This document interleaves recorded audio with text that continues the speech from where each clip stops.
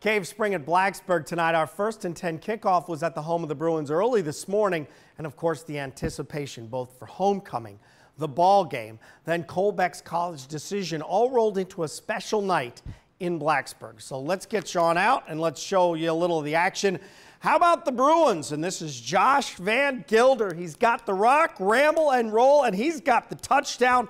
Blacksburg has the victory in the River Ridge 49 7 over Cave Spring. So after the game, here comes Cole Beck out of the field house, and he is sporting the Hokies attire, waving the flag, the most highly recruited player in Southwest Virginia. More than 25 D1 offers had it boiled down to North Carolina Pitt and Virginia Tech. And as you can see, with Enter Sandman playing, the Hokies are the winners go to Virginia Tech next year? Um, I just thought it was the best fit for me and my family to run track and play football at. I mean, at Tech, so I just thought that was the best fit. So it was kind of a clear choice to what to be able to do both. So